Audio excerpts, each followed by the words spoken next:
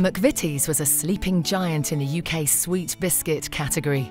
Despite its size and history, the brand did not enjoy fame or customer love and was not perceived as dominant by the industry.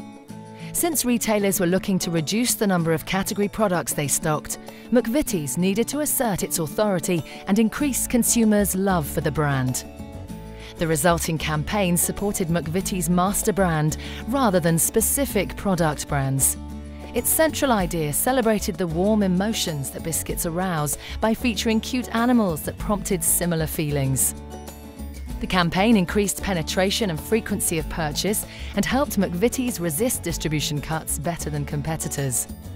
The long-term profit ROMI was estimated to be at least 49 pence and as high as £1 and 6 pence for every £1 invested.